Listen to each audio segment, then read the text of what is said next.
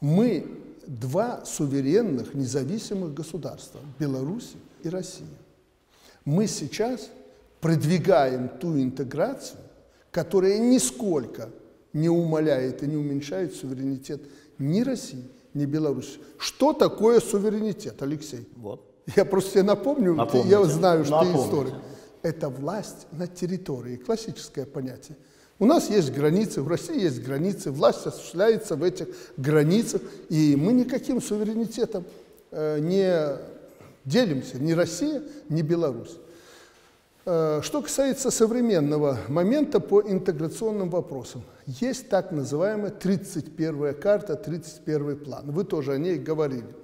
Это э, план строительства наднациональных органов. Парламент, возможно, президент будет и прочее. Мы вообще на эту тему с Путиным договорились не разговаривать. Не разговаривали? Да, в правительстве попытались увязать, не знаю только зачем, 30 этих карт, которые касаются в основном экономических вопросов.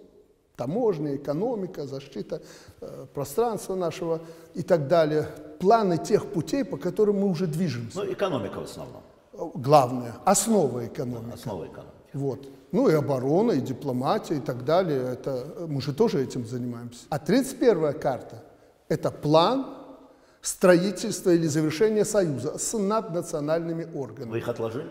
Мы вообще исключили разговор на эту тему еще в Сочи.